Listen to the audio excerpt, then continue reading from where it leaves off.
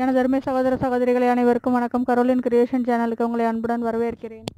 நீங்கள் பார்த்துக்கிட்டு இருக்கிறது கத்தாழை செடி. இந்த சோத்து கத்தாழை செடி வந்து எவ்வளோ ஒன்றுக்குள்ளே ஒன்று பின்னி பிணைஞ்சு எப்படி ஒத்துமையாக இருக்குன்னு பாருங்கள் இது வந்து ஒரு குடும்பத்துக்கு வந்து ஒரு எடுத்துக்காட்டாக நம்ம கூறலாம்.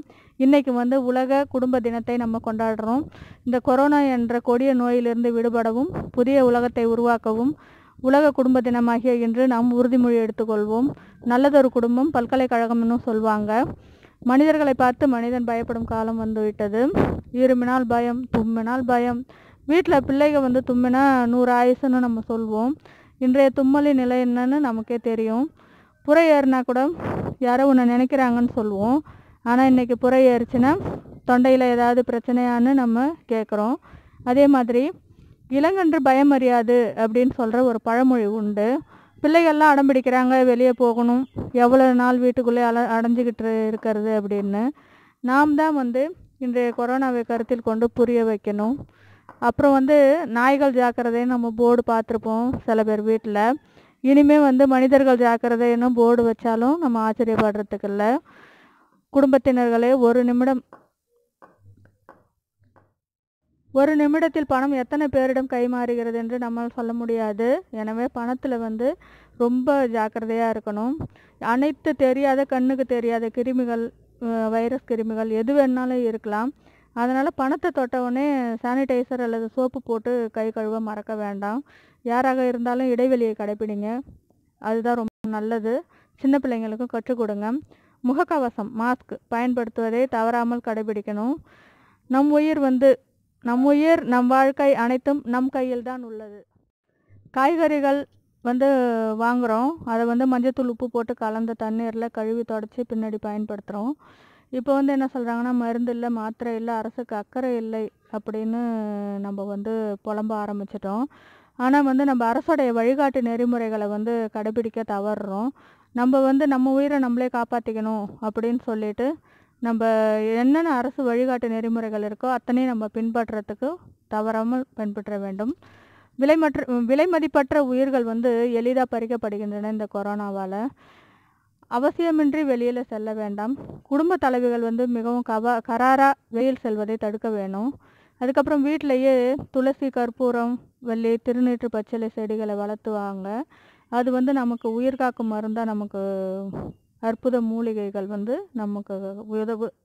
கட் அளவுடன் கஷாயம் வந்து அருந்துவோம். தினமும் எடுத்துக்கலாம். ஆனால் அளவோடு கொஞ்சமாக எடுத்துக்கலாம். அதே மாதிரி இவ்வுலகில் வந்து திறமை இல்லாதவர்கள் யாருமே இல்லை. உலகை வென்றிட உரிமை இல்லாதவர்களும் யாரும் இல்லை. முதல்ல நோயில் விழுவதற்கு இடம் கொடுக்கக்கூடாது. நோயற்ற வாழ்வே குறைவற்ற செல்வம்.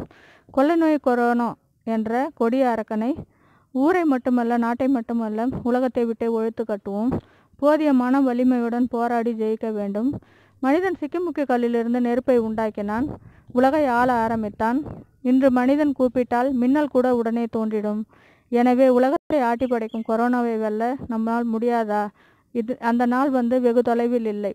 இவ்வுலகம் எல்லா மனிதர்களையும் ஒரே இனமாக இணைத்திருக்கிறது. நம் ஒவ்வொரு குடும்பங்களும் அதில் இணைந்துள்ளன. மனிதர்கள் ஒரு சமுதாய விலங்கு என்று சொல்வதுண்டு. ஒருவர் ஒருவர் சார்ந்து வாழ்தலை தான் இப்பழமொழி குறிக்கின்றது. குடும்பம் என்ற பெயரில் பெற்றோர்கள் கணவன் மனைவி பிள்ளைகள் என்ற குறுகிய வட்டத்துக்குள் நாம் வாழ்ந்து கொண்டிருக்கிறோம்.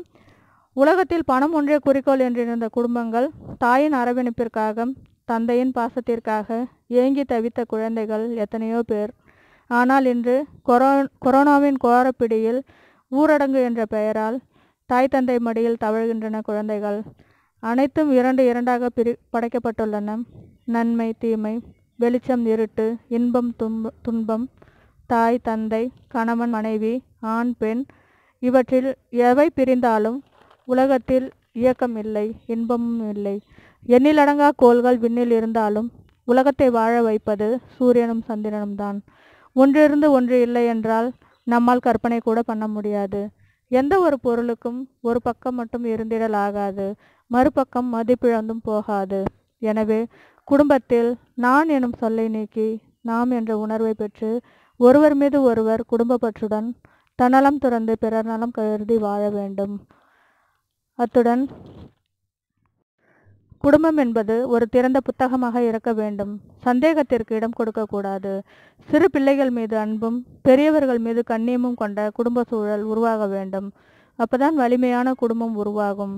வலுவான சமூகத்தை உருவாக்கும் குடும்பமே வலிமையான தேசம் உருவாக காரணமாக அமையும்.